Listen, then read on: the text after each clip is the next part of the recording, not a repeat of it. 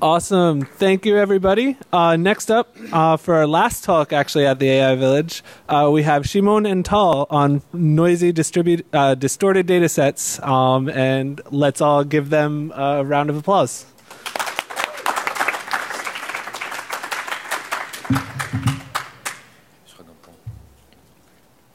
Well, uh, good morning, everyone, and thank you all for being here on this uh, Sunday talk.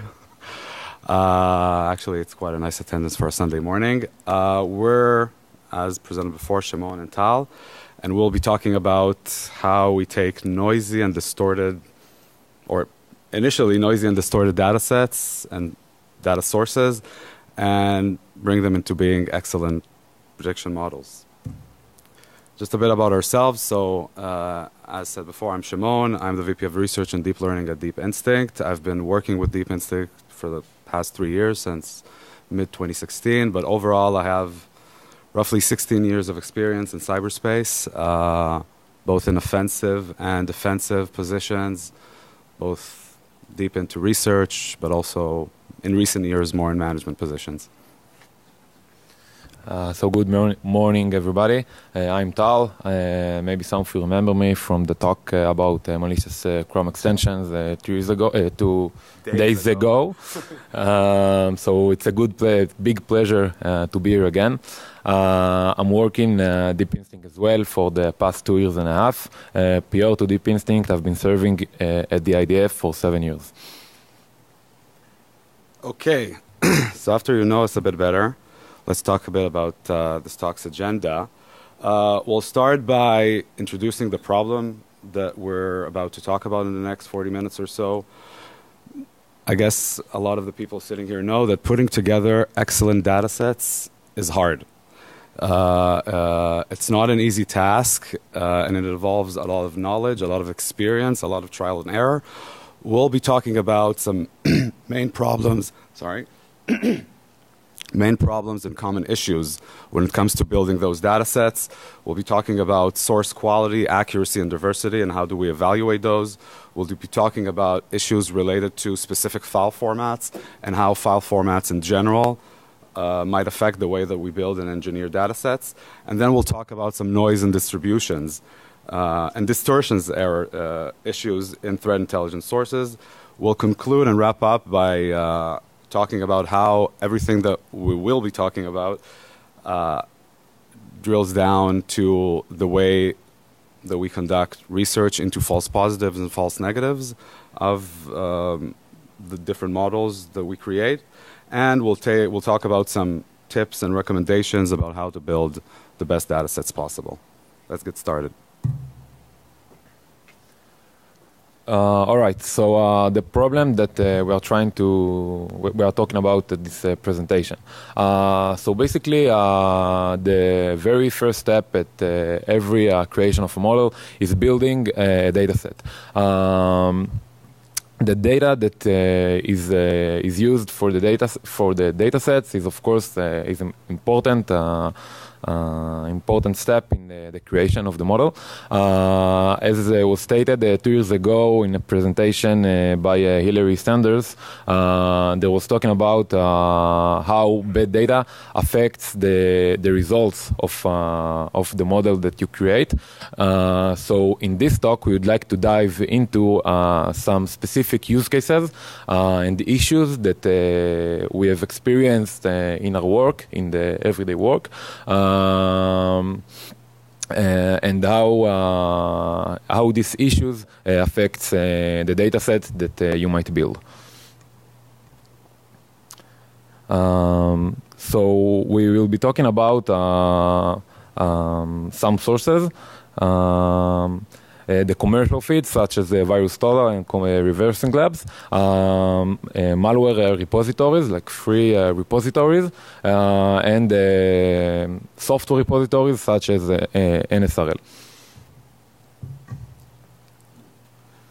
Okay, so we I briefly mentioned before some of the, uh, uh, the, the main three topics. What we'll be showcasing in each one is, is as as follows.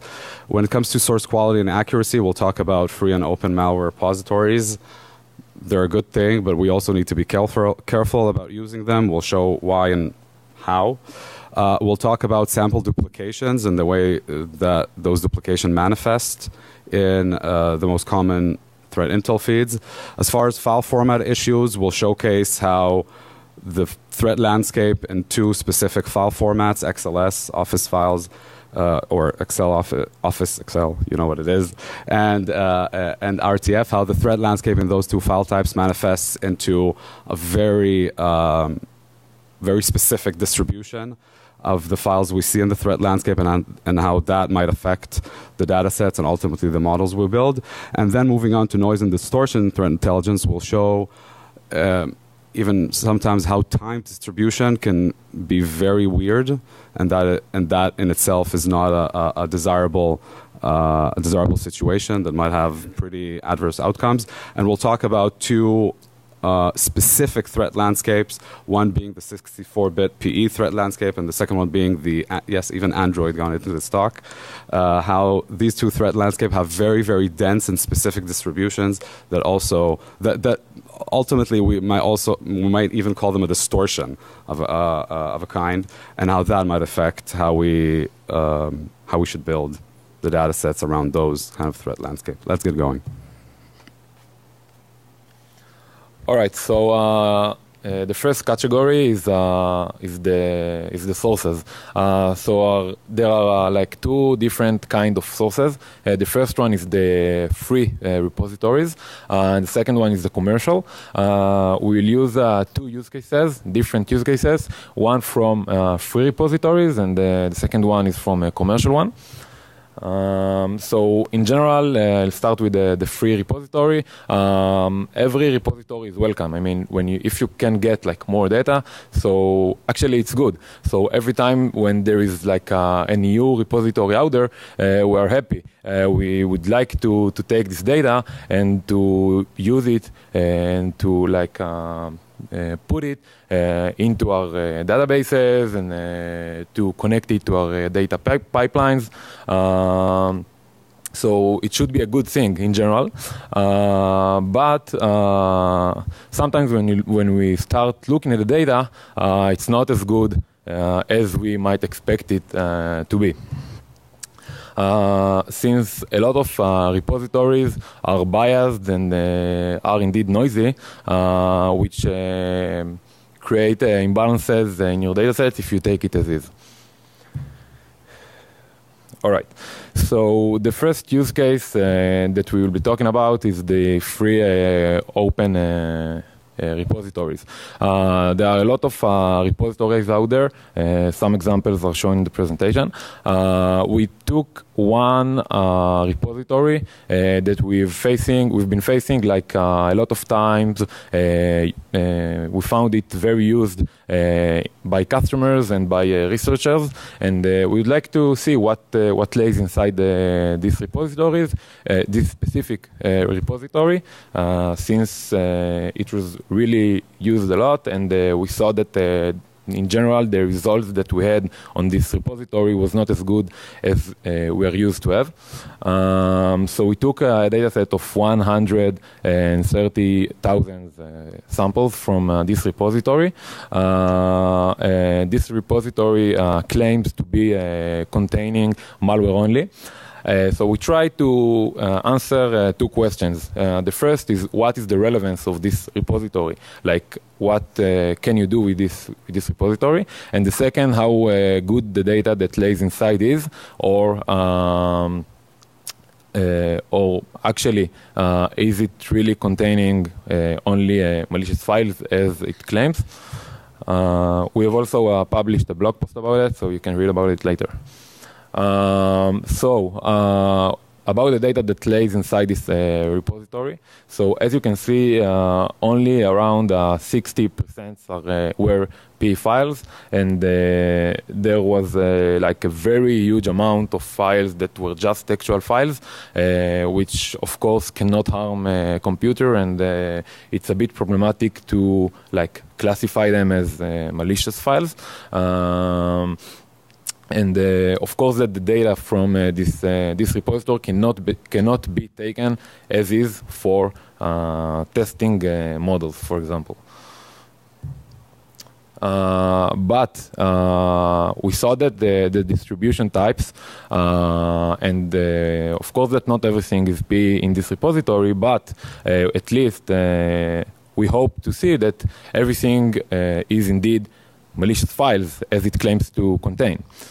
Uh, so uh, we took uh, the data set and that we created before, as I mentioned, and we tried to figure out how many uh, malicious files are indeed lays, uh, lay in this uh, repository.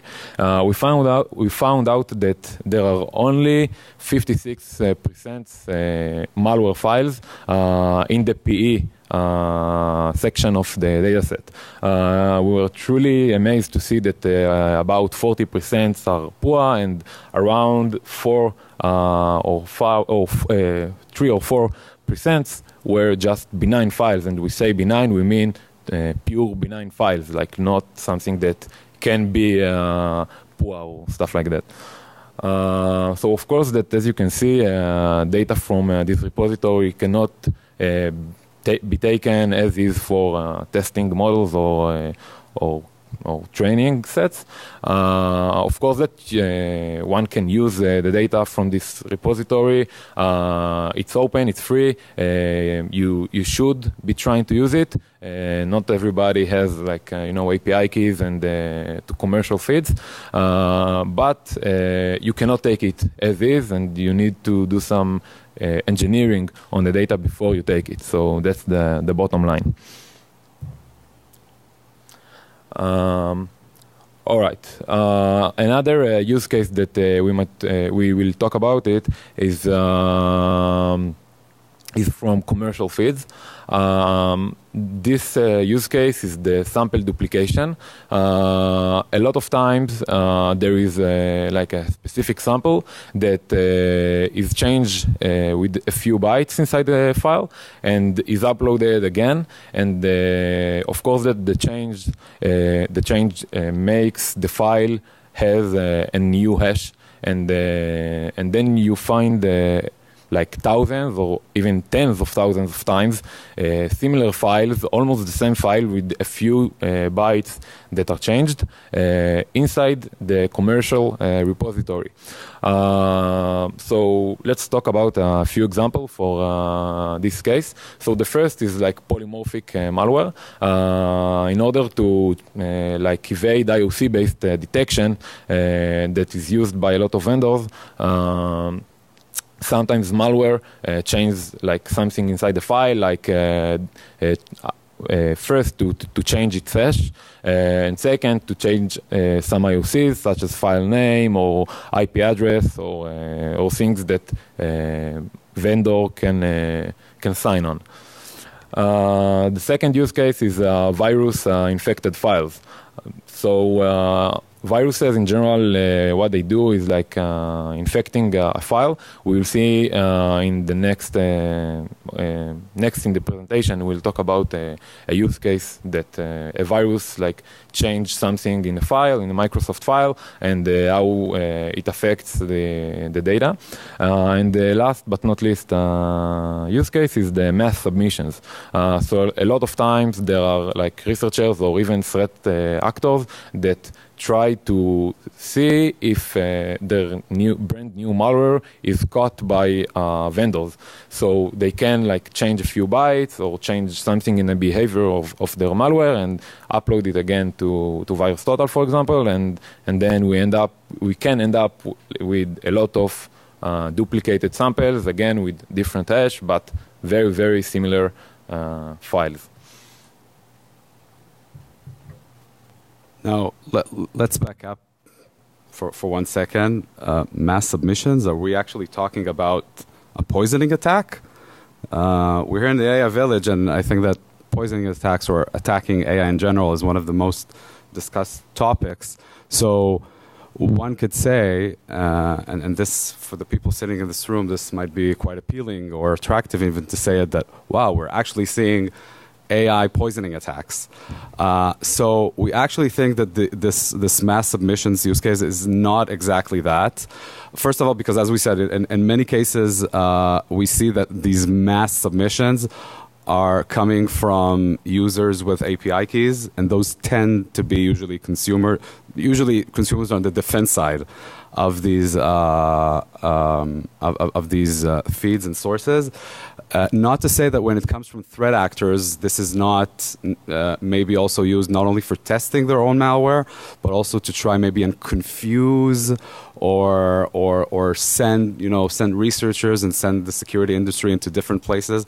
They want to want the the the, the the attackers maybe don't want them to look at. So they'll upload mass amounts of files and to cause you know someone to think that you know this is the hot stuff right now, but actually they're doing something else. So, but still, there's a difference between uh, a you know a say poisoning attack and uh, just you know doing something massive in order to to to to confuse your your enemy or your adversary. So we think it's more the second case than the first. So we're not still seeing actually targeted poisoning attacks. Not to say that it not that it might not happen in the very very near future, but we don't think that's exactly uh, the case as it. But still, taking those mass duplications in might inadvertently actually cause those mass submissions to be uh, a kind of poisoning attack. So that's why we chose to bring it forward here. All right, so uh, uh, let's talk about a specific uh, example of uh, a, a, malware, a polymorphic one, uh, that uh, has been uploaded like tens of thousands of um, times with different hashes. So we're talking about the Ramnit. Ramnit is a worm that is active for more or less seven or eight years already. Uh, and as you can see in these results, uh, it's uh, it has been uploaded a lot of times. we used its ssdeep and uh, after uh, taking this uh, this ssdeep, we looked at some of the samples that lays that lay inside this cluster in order to figure out if they are actually the same file or not. So, uh, as you can see, we found out that uh, all these files were uh, in the size of 3.5k uh, kilobytes, uh, and uh, they were all DLL files.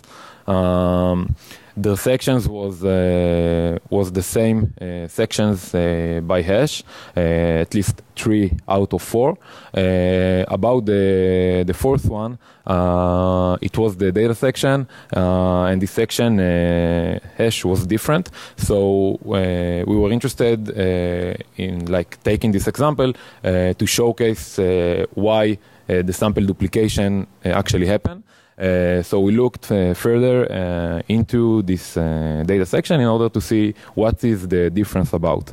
Uh, so as you can see, the difference were, were, was in only a few bytes, the red bytes in the in these screenshots um, inside the, the data section.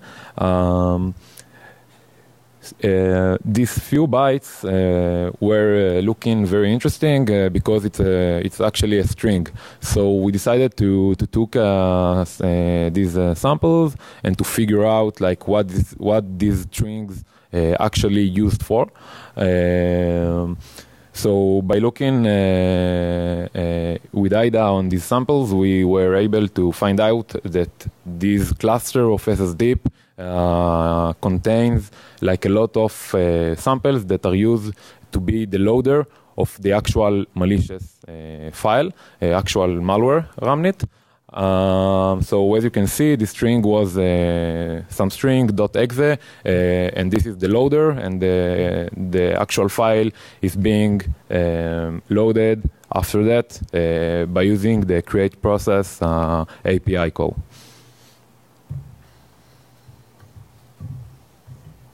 Okay, uh, let's move on to talk a bit about issues that are very related to the format uh, of the files themselves. So um, b- before we get into it, let's let's think for a second what actually makes a file format a format, um, and and what do different how do different formats uh, ve- are different from one another. So formats define you know the file's structure, its header the, the syntax, meaning the, the actual binary sequence that separates between different parts of the file. um, the type of data that we can find in the file, whether it's a textual format or some kind of binary format, what kind of other data might be found uh, within the file, whether it's compressed data, photos, pictures, uh, compressed data, encrypted data, etc. And of course, different file formats uh, have different functionalities. Okay. Um, for instance, you know, a PDF has its own functionality. Uh, office files have their own functionalities. Uh, uh, PEs have their own functionality. They're meant to allow code to run. Um, the way that this uh, relates to what we're talking about here is that the threat landscape of each file format is based on that functionality and on the context in which it's being used. And in many cases, actually, usually in most cases, attackers abuse the innate attributes and functionalities that lay in the different formats that we all use on a day to day basis. Uh, and use those in order to achieve their, uh, uh, their malicious intent. And when we say that, we mean that in many cases, uh, a lot of the file formats can be uh, abused without actually, you know, leveraging vulnerabilities or exploits. And let me give a few examples in, in, uh, a few examples in that regard. When uh, someone embeds a malicious JavaScript, regardless of what the JavaScript does, into a PDF file, so you know, having JavaScript in a PDF file is not a vulnerability, it's a feature. Okay?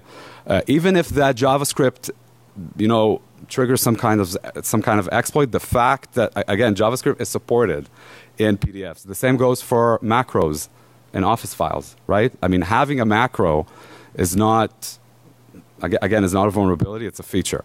Uh, so and and if you look at every uh, every file type that can be abused, and of course even looking at PEs, you know, if the PE is running okay, it might not, it might have, not, might have, you know, sh- shouldn't have been there in the first place, but the fact that it's running, you know, that's what it does. It's running. It's running code on the machine.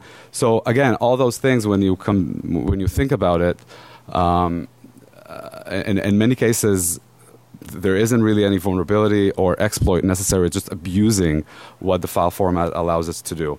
Uh, the fact that this is how the majority actually of the threat landscape behaves makes us think uh, that we need to be very, very careful in examining how malicious files look like and how the benign files look like because we don't want these, uh, again, seemingly malicious but not necessarily malicious.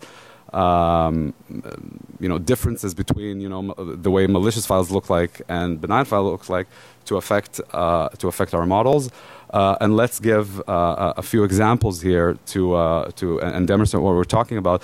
The next few slides will all relate to just uh, random uh, recent data sets uh, of 100K known benign files from each file type that we'll show, and 100K malicious files from each file type that we'll show. We'll, we use a very, very naive um, ground truth uh, uh, approach here with uh, as far as the malicious label is concerned with just anything with more than 20 engines uh, det 20 detections in either VirusTotal or other threat feeds that we have so let's talk about uh, excel files you know uh, we don't need any kind of ai machine learning or deep learning or what have you in order to um, to have a pretty good uh, detection mechanism for malicious ex, uh, Excel files.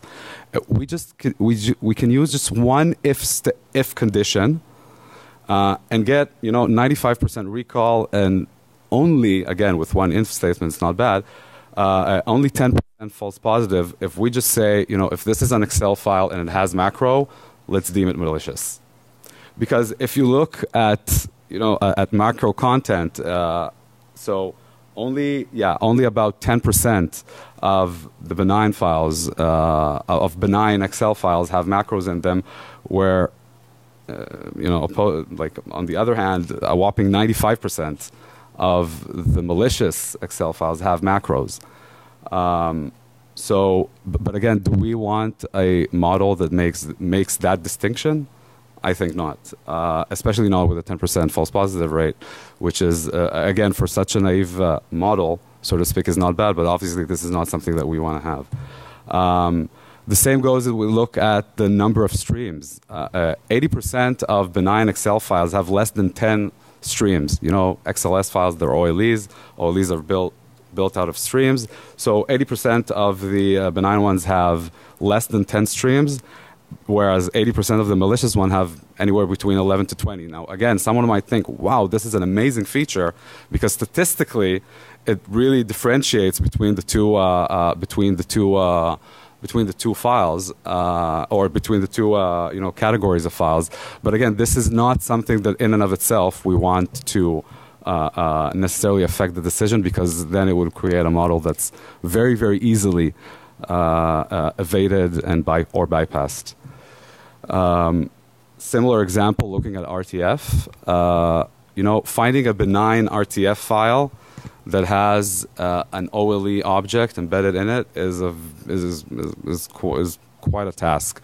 Uh, because less than 0.5% of uh, benign RTF files, uh, I mean, today I would think, generally speaking, that you know no RTF is benign because who uses RTF anymore? but still, uh, if you look at uh, uh, the benign RTFs that are out there, barely any any one of them uh, has any kind of OLE object. But if we look at malicious RTF files, so we're talking about 70%, uh, more or less. Again, this is not something that we want to translate immediately into the models that we create, and we need to engineer the data and think about okay, so how are we actually going to generate a decent data set here? Considering the fact that these are the statistics.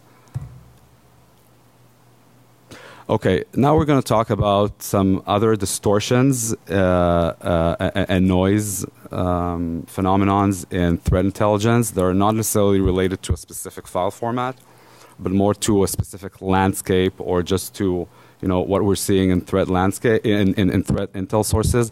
A lot of what we'll see here lies in the fact that you know, uh, the threat sources that we look at doesn't matter if it's the biggest threat sources, the most, you know, the most expensive one with the biggest number of files, and the best coverage of the threat landscape. They don't reflect the reality. They are they are a function of the reality. Okay. Uh, they're probably a much closer and better function uh, of the malicious threat landscape as far as the benign files that exist in the world, they obviously uh, um, contain a fraction of what's of what's what's really out there. Because I mean, most benign files don't find their way into these uh, uh, sources and feeds, um, and, and, that again, that in itself causes some kind of weird phenomenons that we'll we'll now look at. The first is uh, uh, time distribution, and this is uh, uh something that we did looking uh, pretty much at all of the uh, PDF files found in VirusTotal from a period of six years, okay, between 2012 and 2017. Now, if you look at the distribution of these of, of, of, of the files per month, you see like quite a weird phenomenon. You see that if we look at the beginning of, the of this time period, uh, it seemed like almost everything, well, not almost everything, but uh, I mean, roughly, I don't know, two thirds, maybe even three quarters of the total PDF files you can find, you could find in VirusTotal were actually malicious. Whereas if you look later into that time period, that tends, uh, uh tendency seems to change. And okay, so now one would say, you know, VirusTotal became so much more popular. I mean, you can't compare between 2012 and 2017. Uh, but then again, it makes you think: Is this something that we want to somehow leak into our data set? Because if even if we say, okay, let's just take 50% of the uh, uh, benign files of all times, 50% of the malicious files of all times, what we'll get in uh, uh, in our data set is uh, is I mean, much more of the benign files that we would have are from the second half of that time period. And that, again, depending on the kind of model that you use, the kind of features that you use, um, that's something that might leak into your model, uh, which is, uh, I think you'd all agree with me that uh, creation, timestamp in PDFs is not something that's very relevant for their classification. Uh, and, this is something that's found in just in, in, in, clear text in pretty much every PDF out there. Um, th this is the, the, looking again at the distribution, but just looking at absolute. Uh, I mean, looking at each of the landscape and and and, and seeing how that specific, either the benign or the malicious landscape, uh, distribute in time. What we also see, and again, this comes uh, comes back to those mass duplications we talked about before, as we're also seeing some like very weird and uh, obviously out of the ordinary uh, uh, months. Uh, where suddenly th there's a huge surge in the amount of, of malicious samples and sometimes even in the benign samples um, that are th that you can find. So again, both this uh, uh, this phenomenon, so to speak, but also th this one with these distorted months. Uh, again, this is something that needs to be looked at because, uh, again, it, it might if, if we just look at things randomly, it might really affect the data that we uh, uh, that we put into our to our data sets. So. Um, these uh, statistics are uh, talking about uh, a, data set of uh, 64 bits PE.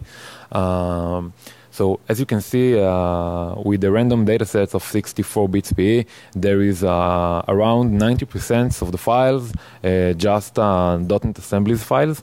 Um, so again, it's uh, it's a huge bias to .NET assembly, and uh, probably that this is not what you're trying to generalize the model on when you take like 64 bits uh, data set. Uh, 45% of the data was just uh, Microsoft uh, infected files. Um, um, so again, there is a strong bias uh, to a lot of Microsoft files in the malicious dataset. Uh, probably it's not the case in the benign dataset. So uh, you'll find out uh, you, you, you end up with uh, uh, benign and malicious datasets when you have more files that look like Microsoft files in your malicious datasets uh, and it might be a problem. So uh, let's see uh, an example uh, for uh, why uh, there are so many malicious infected Microsoft files in in the dataset. Um, so we th there is a specific DLL DNS API which has been like tens of thousands of times in, in a random uh, data set that uh, we created. Uh, and um, and we, try, we try to find out like why there are so many DNS uh, API infected files. So uh, one concrete example is uh, was discovered by Malwarebytes in this in this link. and what actually was there is like a, a, virus that changed the host files. Like it, it was just patching the, the host files files in order to hijack uh, the host file. Uh, the host file is a file that uh, like uh, there is uh, there can be configured like uh, like DNS entries. so every time your machine needs to like do like it, when it needs to do like a DNS query. Uh, so prior to the DNS query, uh, the machine checks inside the host local file. Uh, so by hijacking uh, the host file, uh, the malware can control uh, the DNS that that are served to the machine. And of course, that uh, as I said, 45% uh, of uh, Microsoft files or alike Microsoft files in the malicious dataset might lead easily to false positive on Microsoft files.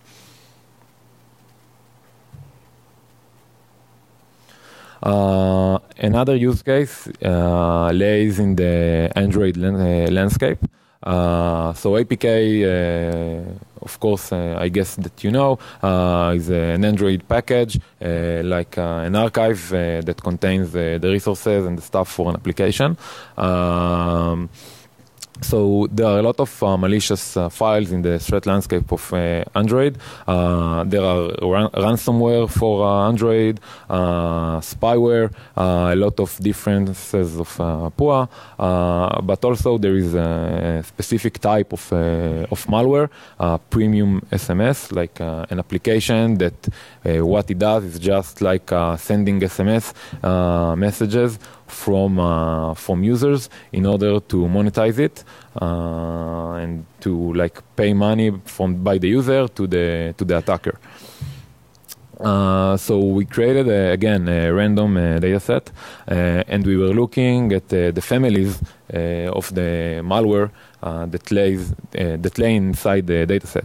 So as you can see, we looked at the the three top families all the three top families uh, are uh, composed, uh, are like taking around 37% of the data set, and all of them were uh, premium SMS. So again, uh, here's another use case of a strong bias to something that we probably didn't want, like the model, like the, the, the APK data set, to be uh, biased to.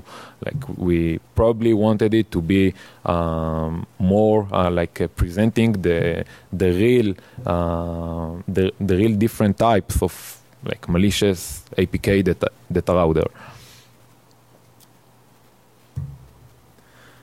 All right, so uh, now we will uh, conclude and uh, we will uh, like uh, show you like uh, also we'll say we'll talk about some takeaways from this presentation but uh, first I'll start with uh, like uh, a process that we are doing post training and can be taken and applied like it's a process or an attitude that you can take and apply after that post training for your models so first you need to identify like a pattern a specific pattern. For example, uh, as I said earlier, uh, let's take, uh, for example, a PE model. So you, if the dataset was biased, as we've seen earlier, so maybe you might have false positive on Microsoft files. Um, then uh, what you need to do is like going back to your dataset. Uh, the reason is to to look at the training set that the model was generalized generalized generalized on. Sorry, generated generated from yeah. Uh, in order to like uh, examine the, the pattern appearance uh, to see how it uh, how it's distributed inside a benign dataset and the malicious dataset in the training set.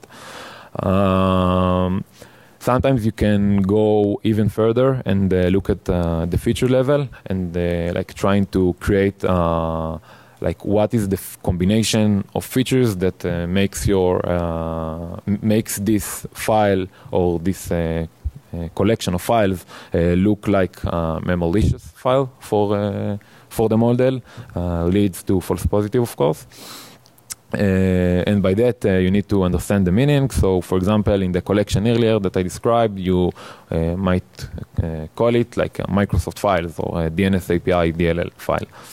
Uh, the last step is like uh, adjusting and engineering uh, the feature distribution or the pattern distribution inside the training set. Uh, so Tal just talked about, uh, you know, how we might use all the all, all, the data that we've shown here in the false positive or for the false negative research um, phase that again usually occurs post training, whether it's when you still whether it's when you're still you know testing and evaluating your uh, newly created model, or even if it's you know in, for the folks here that are coming from you know AI based uh, uh, from AI vendors or from next gen vendors or whatever, or the legacy ones that are now using machine learning as well. Uh, uh you can do it on, of course, on your production data. Okay, so false false positives and false negatives that occur in production. But uh, a lot of what we talked about uh, comes back to you know what we do pre-training, and again how we build and engineer the best data sets possible that will ultimately uh, enable us to create the best models possible. And those are some of the uh, uh, the you know the do's so to speak, uh, or, or, the recommendations that we have uh, uh, based on what we've seen. Uh, the first is, you know, we need to really understand the threat landscape and whatever is the problem that you're trying to solve and think about how it might affect the data. Uh, because it might affect the data. You need to really differentiate between, uh, uh, again, those innate features or uh, uh, features in the general term of features, not in model features. But, but the features in the file format or, or the functionality of the file format, how that's abused in the threat landscape. And of course, what's you know not really an abuse of the format, but something that's you know uh, again, a vulnerability or an exploit that, that, that, could be leveraged, those things will manifest differently in uh, the the uh, in, in, your benign data sets and your in your malicious data sets, and you need to think about caref- You need to think about that carefully and understand that before you go about building your data sets. Uh, another th- uh, another thing that, that, that we that we want to mention is that, again different file formats uh, behave and distribute very very very differently from one another. Sometimes uh, it's uh, you could see that in um, even in, uh, in, in formats that are very very closely related. Let's say PEs, 32-bit and 64-bit don't look the same, don't behave the same. Uh, at least as far as their their distribution and the threat landscape uh, is concerned. Um, and, and, and again, this goes also to different types of document files, or even if we look at even more specific packages uh, or formats like OLEs. So again, doc files and Excel files and PowerPoint files don't distribute uh, uh the same, although their format is the same one uh, one of the most important takeaways uh, we believe is that uh, we all need to very carefully examine the raw data that uh, uh, that we take and uh, examine its its its distribution. Meaning, okay, uh, of course, I, I, believe we all you know normally try to you know build the biggest data sets possible uh, with respect to you know whatever we can find or how big the the, the available data is. And if, and sometimes it's a question of, of the resources and, and, and, computation that we have at hand. But uh, uh, of course, you know, uh, yes, a good approach is starting from as big as possible, but then uh, really examining the distribution and making sure that it seems reasonable. Um, noise and distortion can be found somewhere in the most uh, can be sometimes found in the most unexpected of places, like time distribution, uh, with really just you know weird uh, weird phenomenons of like months where you know, PDF was the king of the malware or whatever, but uh, it's not actually the case. And usually it is some kind of distortion that you better if, if, if you clean it out.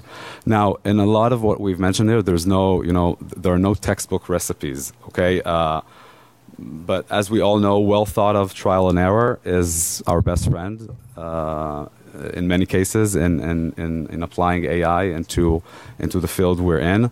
So, and this is the part where you know data science is a bit of an art as well. Uh, uh, yes, of course, there will be more files with uh, uh macros in a malicious uh, Excel um, data set, but whether we want to have that exact distribution the way it is if we look at the raw data, uh, our recommendation is no. Uh, uh, engineer that uh, that somehow differently. In what way? Whether you do it with oversampling or with you know compromising for a smaller data set with a different distribution. Again, that lies th- that depends on on everybody sitting here and your peers and colleagues, but. Um, we recommend that you again look at the things and uh, you know do your trial and error and see uh, uh, and see what's best. Different models, different you know feature spaces, different file formats, different threat landscape. The solution for them is is quite different. This pretty much concludes uh, our talk. Thank you all very much for listening, and we'll be happy to take any questions if there are.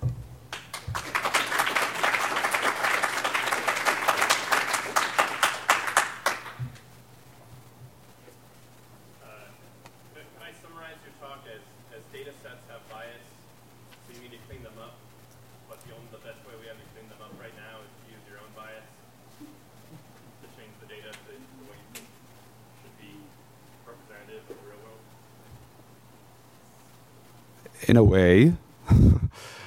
but the question is, what is your bias? And how, uh, and again, what's the problem you're trying to solve? Sometimes that problem might be if you're at the very, very early stage, how do I build the best model that generalizes on the right things and not on distribution of, of, of the threat landscape as it is, because that might lead to adverse results. And sometimes, in order to fix something that you already find to be problematic, a specific pattern that consistently is causing false positives or false negatives, and then our recommendation is go back to your data. Sometimes the problem is not in, sometimes the problem is not algorithmic. It's not in your feature space. It's not in your, you know, model architecture or the specific algorithm you chose. Sometimes the problem simply lies. It might not be that simple to solve it, but the problem lies in the data itself. Yeah, sure. Uh, just uh, want, want to add something. Uh, the issue is that uh, it's it's when you create a data set, it's not possible to find out like all the, these biases. So in many cases, you just, you know, after seeing some production environment or like after tackling and using the model for, uh, for a period, uh, you, you find out these patterns and these biases. So that's the point, that it's not always um, so easy to find them out.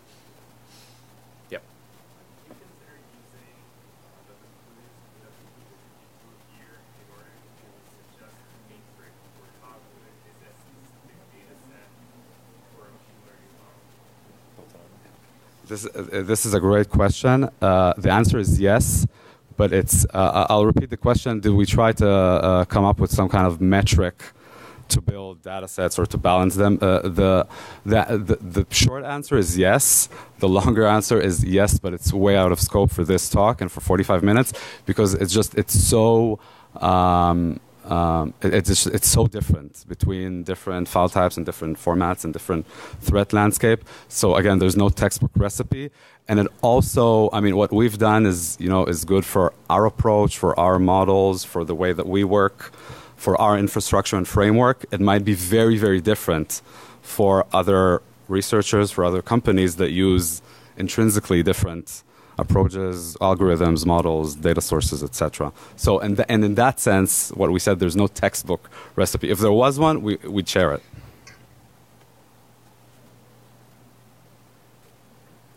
Thank you all.